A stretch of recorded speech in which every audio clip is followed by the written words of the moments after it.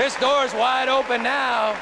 It's going to happen, whether you like it or not. Four judges ignored 4 million voters and imposed same sex marriage on California. It's no longer about tolerance. Acceptance of gay marriage is now mandatory. That changes a lot of things. People sued over personal beliefs. Churches could lose their tax exemption. Gay marriage taught in public schools. We don't have to accept this. Whether you like it or not.